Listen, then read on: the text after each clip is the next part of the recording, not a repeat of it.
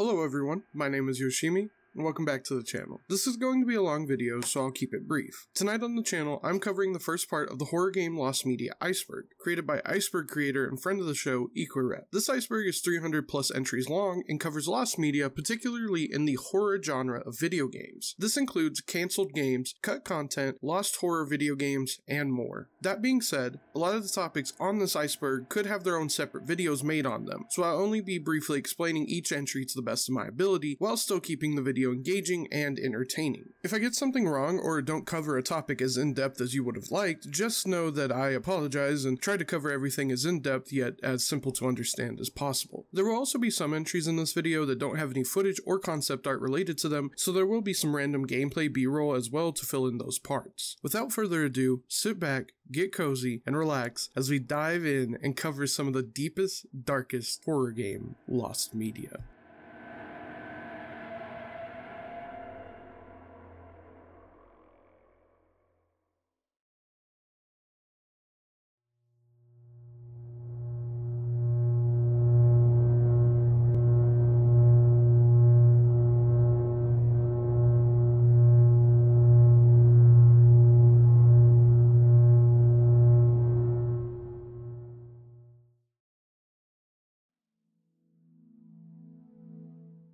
Starting off Tier 1, we have Silent Hills. Silent Hills was a cancelled game in the Silent Hill franchise meant to serve as the first new entry in the series in several years, as well as a reboot of the franchise. The game was announced through a mysterious demo known as PT, or Playable Teaser, appearing as a download on the PlayStation Store on August 12, 2014. In the teaser, the player controls an unnamed protagonist who is tasked with exploring a seemingly haunted suburban home. During the demo, disturbing occurrences begin to happen inside the house as the player experiences terrifying events while solving strange, cryptic puzzles. As the player completes each loop around the playable area of the house, a hostile ghost by the name of Lisa begins to hunt the player, resetting the loop if they are caught. After the final puzzle is complete, the player escapes the house, finally revealing that the playable teaser was for the upcoming Silent Hills, a project that was to be directed by Metal Gear developer Hideo Kojima, as well as Hellboy and Pan's Labyrinth director Guillermo del Toro, with Norman Reedus starring in the main role, and even acclaimed manga artist Junji Ito planning to be involved in the game's development in some way. However, after the release of PT on the PlayStation Store and the fast, widespread critical acclaim the demo received, game developer Konami removed the demo from the PlayStation Store sometime later and made it impossible to re-download, thus simultaneously canceling Silent Hills. This led to heavy criticism from the gaming community, with many gaming news outlets reporting extensively on the cancellation of Silent Hills. As Silent Hills was unjustly cancelled by Konami, both the main game and PT are some of the most notable pieces of lost media, serving as not only a blow to the once legendary horror series it tried to revive, but to the gaming gaming community as a whole. Resident Evil 3.5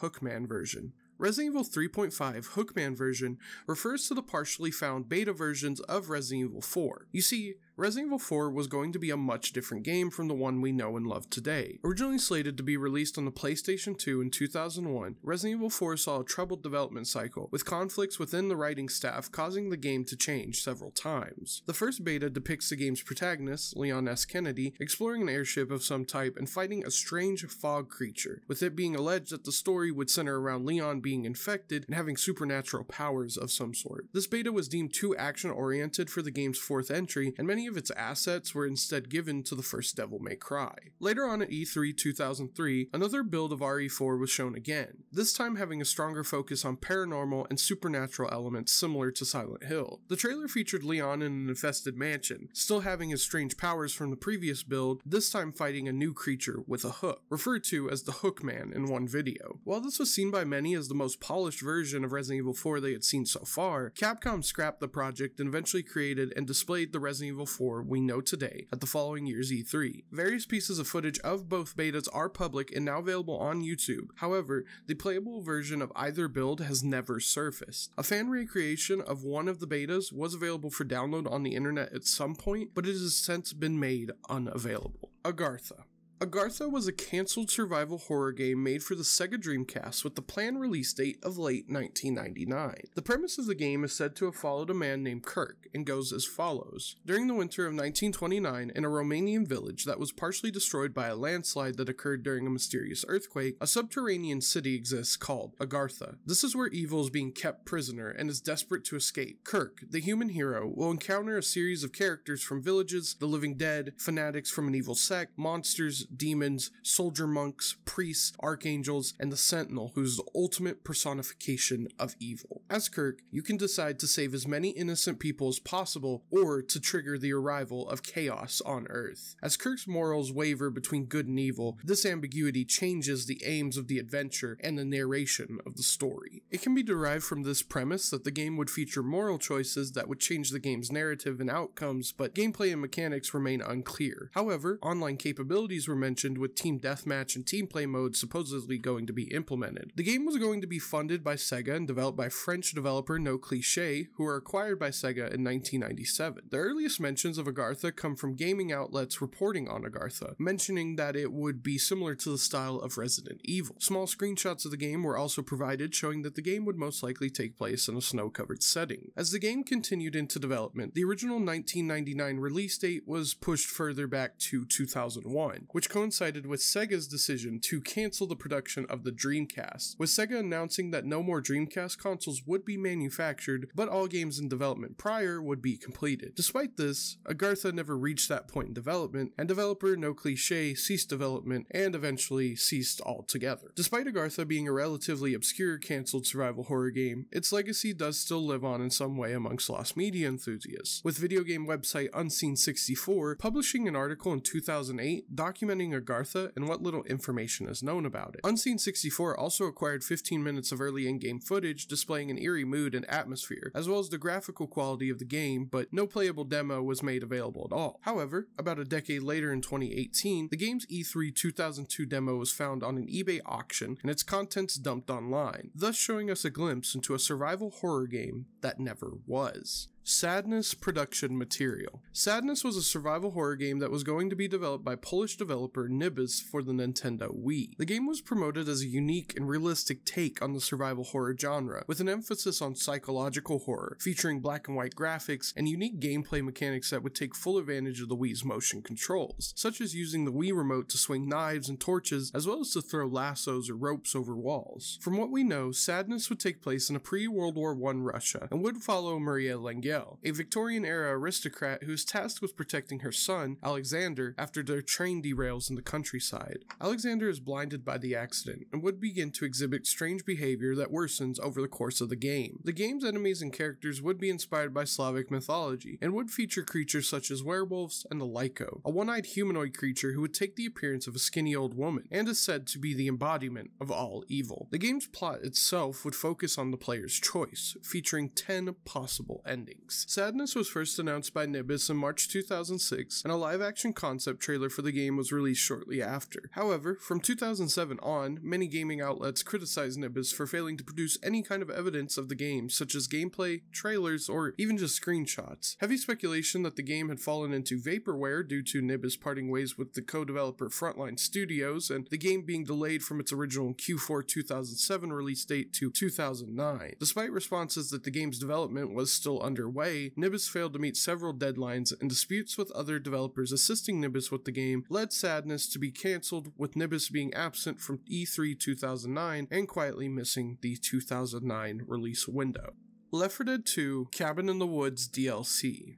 The Cabin in the Woods DLC refers to a lost campaign for Left 4 Dead 2 based on the horror movie of the same name, Cabin in the Woods. The campaign was meant to be a tie-in for the film. However, due to the movie's several delays and financial struggles, the campaign was eventually scrapped. According to Left 4 Dead 2's writer Chet Faliszek, both Joss Whedon and Drew Goddard had approached Valve about the idea after playing the game. Allegedly, the campaign was going to be based around the movie and somewhat follow the film's plot, allowing players to play through and explore both the upstairs cabin cabin and the underground facility, with it even being alleged that you would be able to fight the monsters from the movie, though it remains unclear if new special infected types would be implemented or not. However, despite plans and enthusiasm for the DLC campaign, several problems with Cabin in the Woods financing and distribution led to the eventual cancellation of the campaign. All is not lost though, as the special infected from the Left 4 Dead series do make cameos in the final film. Doom 4 Doom 4, like the name suggests, refers to the original planned fourth entry in the long running legendary first person shooter series. The game was planned to be released for the PlayStation 3, Xbox 360, and Microsoft Windows until it was cancelled sometime in late 2011. The game was to be developed by id Software and published by Bethesda Softworks. It is unknown where the game would have fit on the Doom timeline due to the game not serving as a direct sequel to Doom 3, but also not being a reboot of the franchise. id Software co founder John Carmack confirmed that QuakeCon 2007 that a new Doom game was in development, but no other details were revealed at that time. It was not until May 2008 where Doom 4 was officially announced. However, no set release date had been provided. Doom 4 had also been surprisingly absent from QuakeCon 2009, but it was announced that more information would be present at the following year's convention. Around this time, id Software was also working on another first person shooter titled Rage that released in 2010 to mixed reviews and a disappointing launch, leading many to question the future future of Doom 4, with the game being cancelled later in 2011. Sometime in 2012, screenshots and gameplay of Doom 4 were leaked, revealing some of the game's plot and mechanics. Not much is ultimately known about Doom 4's premise, only that the game would take place on Earth after a demon invasion provoked by the Union Aerospace Corporation. It is alleged that the game would take place in New York in the year 2038 and would follow a human survivor who meets up with a resistance aimed at taking down the forces of hell. The gameplay would feature standard first person shooter elements that Doom is known for, with modern elements similar to games like Call of Duty, as well as some concepts that were eventually repurposed for Doom 2016, like the Glory Kill system, light weapon customization, and more. When asked about the leaks, id Software neither confirmed nor denied that they were legitimate. A pre alpha build existed for the game at some point, featuring a lot of these single player and even some multiplayer maps in a playable state, with footage of this build being available on YouTube. However, at the time of writing, an actual playable download of the game still remains lost.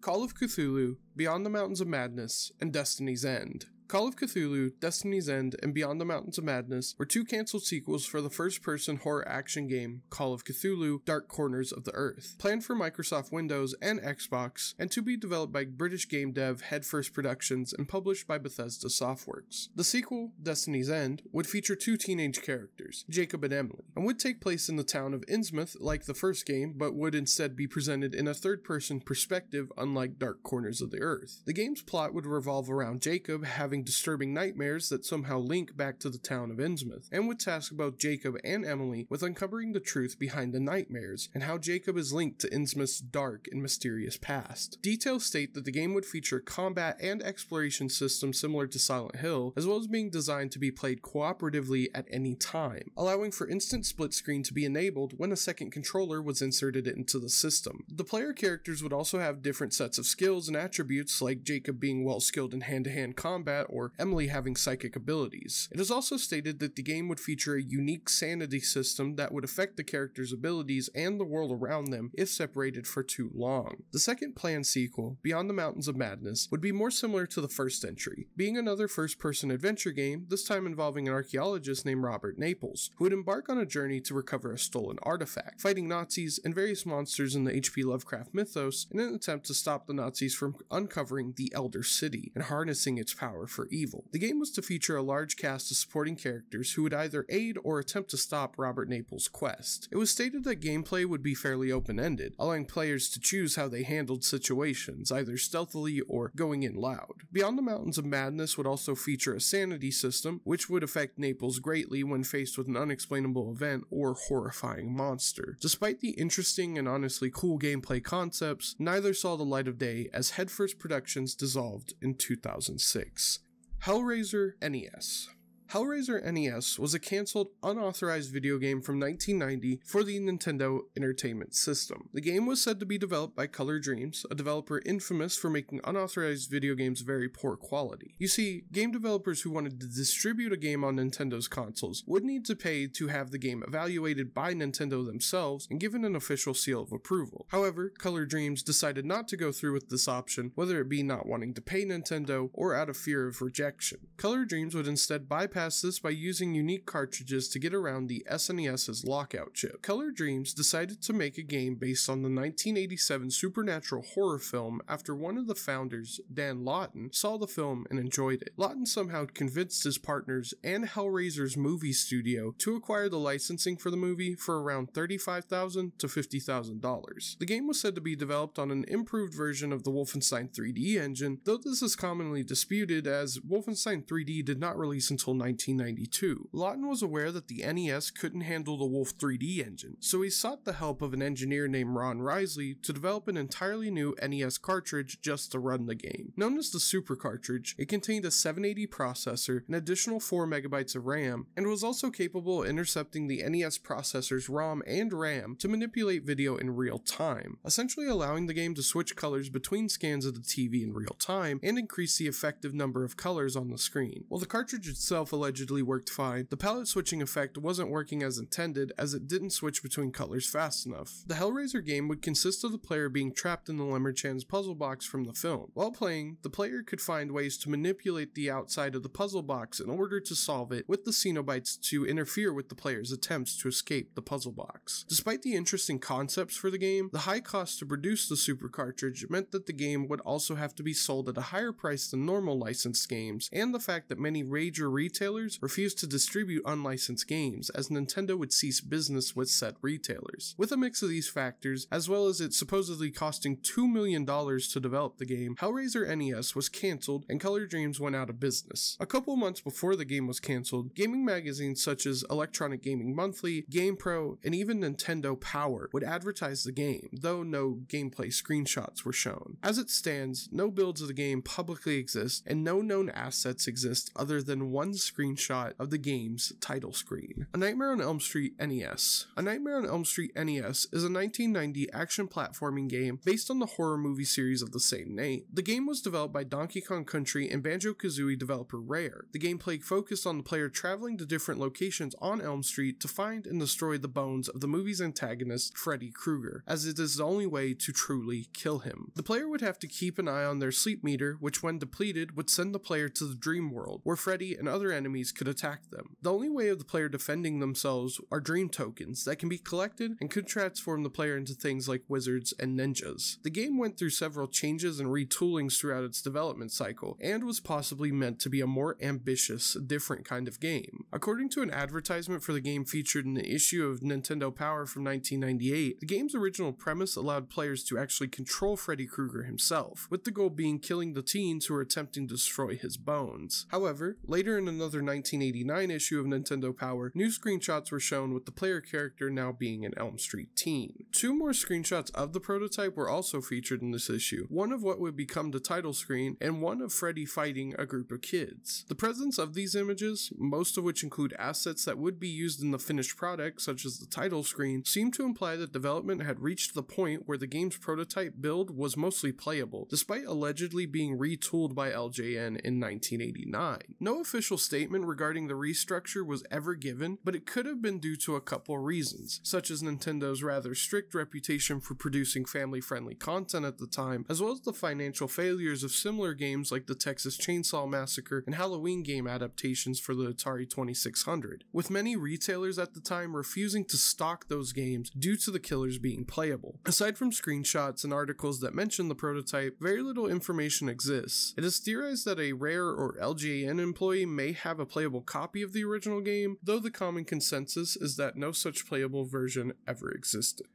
Evil Farming Game The evil farming game is a rather popular topic that has been covered extensively and has been debunked, so I'll keep it brief. Essentially, the evil farming game is a name given to a rumored farming simulation game similar to Stardew Valley or Harvest Moon, with the premise revolving around the player character murdering their wife and hiding her body from the police, all while still tending to the farm in the game. The evil farming game was first mentioned by Reddit user Sparta213 in 2016, with a post asking if anyone remembers a violent farming simulator with the aforementioned premise. This post gained so much attention it spawned a five year long search for the game and even its own subreddit where people would gather to share information they had found. There was a game with a kind of similar plot known as Moira in 2013, but it is not a farming sim and more so an experimental video game experience with some similarities like a bloodied farmer and a missing woman. Despite the extensive search into this seemingly lost horror game, it was later discovered in 2021 that the game never actually existed. You see, somehow the community searching for the game had found a clip from a 2015 stream of Earth Defense Force by Vinesauce Joel, in which he describes a hypothetical plot for a game pretty much identical to the plot of the evil farming game. After this revelation, it was revealed that Sparta 213 had misremembered the whole situation, having used to fall asleep to Vinesauce streams and thus mistaking the Vinesauce Joel clip for an actual game. Luigi's Mansion Space World Demo. The Luigi's Mansion Space World demo refers to a specific tech demo of the aforementioned GameCube launch title that debuted at Space World in 2000 and contains several features not seen in the final game. These unique features include the Poltergust 3000 that Luigi uses to vacuum up ghosts featured a different, more rectangular appearance in the tech demo. It has a meter on the side and four wheels on the bottom. The Game Boy Horror in the bottom right corner of the screen has a timer in the tech demo, rather than the totals of collected coins in the full release of the game. The mansion's layout is much different. Several doors are boarded shut, most likely due to the fact that the game was still a work in progress. Some doors are also placed differently than in the final game, and some rooms have different furniture or furniture arrangement. Several ghosts either did not make it into the final game or were changed in minor ways. One ghost that did not make it into the final game was the chef ghost that was supposed to be in the kitchen. There's also ghosts unofficially named Bashers in the tech demo that would appear behind Luigi and scare him, cutting his max health down to 50 temporarily. Lastly, many ghosts from the beta had their textures or colors changed. The disc that the game was on was very similar, the only difference being the position that Luigi was in. Aside from that, it's possible that the beta may be contained on some other discs. There is an overheat meter that slowly fills up while vacuuming, similar in appearance to the element meter in the final version. If the meter fills up all of the way, Luigi will immediately stop vacuuming and fall over. Coins were the only currency shown in the demo. They also had a different appearance. They were blank, upright, and rotated. Other lost demos of Luigi's Mansion also exist, like another time demo seen in Space World 2001 that was identical to the Japanese release of the game, as well as an E3 2001 demo that is pretty much identical to the final release. As of the time of writing the script, none of the two demos shown off at E3 2001 and Space World 2000 have been leaked or have resurfaced to the public, and all that has surfaced for them are trailers for the demos and screenshots taken from both events. Alan Wake 2 2010 demo. Alan Wake 2 is the long awaited and highly anticipated sequel to Remedy Entertainment's Alan Wake series. This entry refers to a prototype version of Alan Wake 2 created shortly after Alan Wake's release in 2010 that was meant to be shown to potential publishers. The prototype was said to include new gameplay mechanics and enemies that was pitched to Microsoft. However, they were not interested in a sequel at the time and instead tasked Remedy with creating a new IP which became Quantum Break. However, we did eventually get Alan Wake 2 in 2023, which was met with critical acclaim. Allison Road. Allison Road is an unreleased first person survival horror game developed by Limited and was meant to be the spiritual successor to PT. The gameplay would have been fairly identical to that of PT, with an unknown protagonist exploring an unfamiliar townhouse and solving puzzles throughout. The game was planned to be released in 2016, but the game's cancellation was announced on the official Twitter account in June of that year. Later in August, the game's creator Christian Kessler announced that production on Allison Road would resume, though there would be no updates on the game since then, with Kessler seemingly just moving on to work as a concept designer in the movie industry.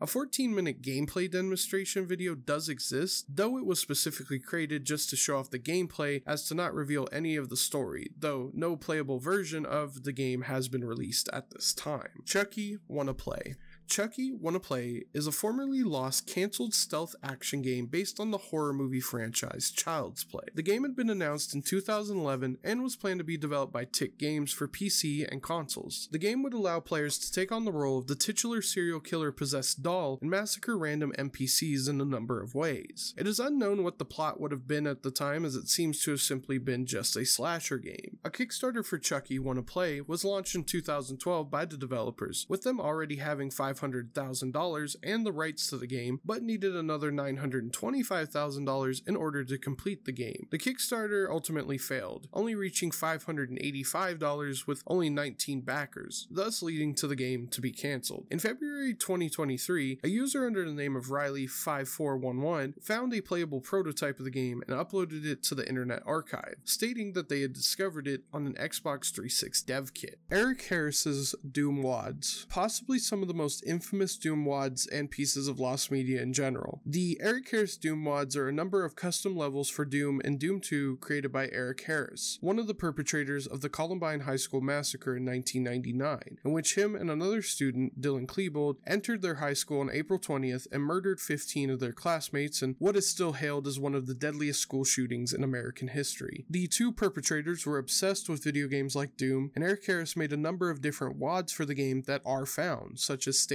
Killer, Bricks, Fight Me, and UAC Labs. However, not all of Eric Harris's wads have been found, with the most infamous and mysterious wad being simply known as RealDoom.wad, which was advertised on Harris's website and in other wads, but has never resurfaced to this day. In the 11,000 page Columbine report, it is mentioned that Eric Harris had created a wad that was a recreation of Columbine High School, with the rumor being that RealDoom.wad is the Columbine High School map, though the wad is still currently lost and no known downloads exist at this time. Polybius. Polybius is an urban myth and creepypasta that details the story of an alleged real life rare arcade machine from the 1980s that is supposedly haunted. Players would report hearing a woman crying after playing it, seeing deformed faces in their peripherals, having terrible nightmares, and would even physically cause them to feel sick. According to an owner of an arcade at the time, men in suits would come in to collect reports of the game's database. Because of this, it was speculated that it was a government created machine ready to test on the public. Polybius is extremely popular in not only internet horror circles, but in video game culture as a whole, with extensive videos, fan games, and even an excellent documentary from YouTube user Ahoy, all serving as a means to bring Polybius from old world internet legend to life. Attack of the Killer Rabbids from Outer Space. Attack of the Killer Rabbids from Outer Space was a first person shooter planned to be developed by Ubisoft Montpellier in 2011. The game was to serve as as both a launch title for the Wii U and a horror spin off to the extremely popular Raving Rabbids series, which, as many of you know, is primarily a family oriented children's game series. The game would be similar to various other first person shooters and would test the player with killing as many rabbits as possible, and would use a variety of weapons, including various standard firearms, an electricity gun, and even a buzzsaw launcher. The game would also feature multiplayer options with four player co op similar to horde shooters like Left 4 Dead. Even though the game was originally planned as a Rabbids spin off and Ubisoft enjoyed the idea, they felt that a violent and gory entry in the series would not be well received. So the name was changed to Killer Freaks from Outer Space, with Rabbids being changed to Freaks, which would have a more reptilian like design but still kind of shared some of the same traits as the Rabbids. Early footage and trailers for the game would receive positive reviews. However, the devs were not satisfied with development, with one major issue being that Freaks were too small to see, causing players to constantly have to look towards the ground ground in order to shoot. Because of this, and the game's fast pace, which they felt would not work well for the Wii U, Killer Freaks from Outer Space was eventually scrapped, and many of its mechanics and assets reworked into another Ubisoft horror game, ZombiU. Various screenshots, trailers, and concept art for Killer Freaks from Outer Space exist online, but anything else about the game remains lost. Dino Crisis Game Boy Color. Dino Crisis was a popular survival horror series developed by Capcom and released for the PlayStation 1 in 1999. The game was similar similar in gameplay and premise to Resident Evil, and would revolve around a Spec Ops team sent to investigate a research facility on a remote island, only to find that the facility's staff have been killed and the place has been overrun by dinosaurs. It was one of my personal favorite games growing up and really scratches that dinosaur horror itch. The entry refers to a cancelled Game Boy Color port for the game being developed by British studio M4 Ltd. Gaming news site IGN had spoke with the developers who stated that Dino Crisis GBC would be a top top down adventure game unlike the PlayStation counterpart and would not see completion until Q4 of 2000. Not much is known about this top down version of Dino Crisis, but it is believed that it would be reworked into Resident Evil Gaiden, a top down spin off for Capcom's Resident Evil series released for the GBC in 2001. Another version of Dino Crisis GBC was also in development, and details about it can be found on Unseen 64, as well as the Spanish websites Vandal and Dino Crisis Wiki. The game was reported to be developed by a different studio, and more details about this version of the game are provided, including some presumed sprites and screenshots that were leaked online. However, the sources of these details and screenshots are still unknown. The game was not to be a top down adventure, but would instead use static backgrounds and text sequences to convey its gameplay and story. Dino Crisis GBC would feature 7 maps and 100 rooms in total, and would feature 4 playable characters all from the original game. It was also stated that the game would have 5 types of dinosaurs, including the Tyrannosaurus Rex, Velociraptor, Pterodon, and two unspecified dinos. A full design document for the game was released.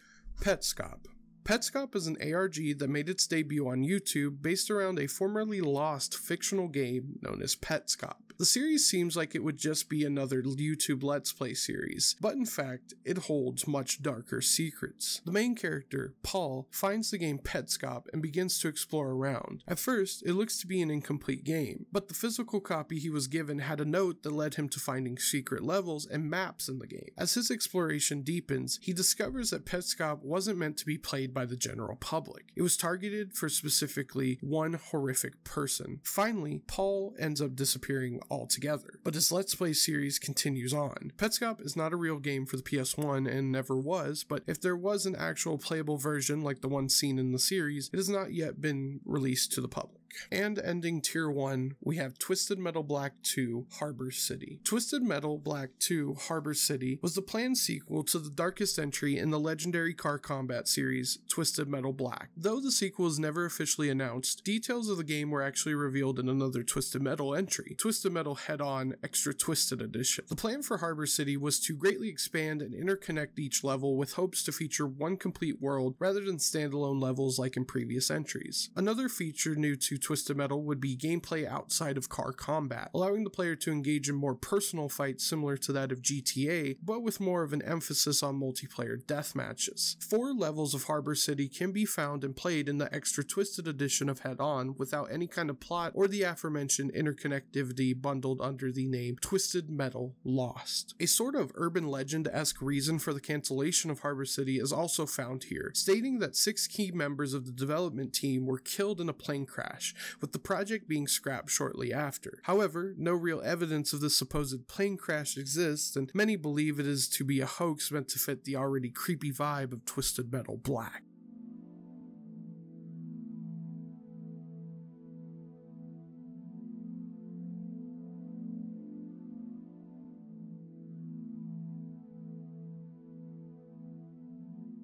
And there you have it part one of the horror game Lost Media Iceberg. I hope you all enjoyed it and thank you so much for watching through to the end. Next time, I will be covering tiers 2 and 3, which will most likely be out in the next couple weeks or so. Then, I will release the next entries every 1 to 2 videos so that my channel isn't just iceberg content. I want to give a big thanks again to EquiRep for creating this iceberg and for including links to these entries as well. I also want to thank you again for watching and I hope you all enjoyed the rest of the series. This has been Yoshimi and have a good night.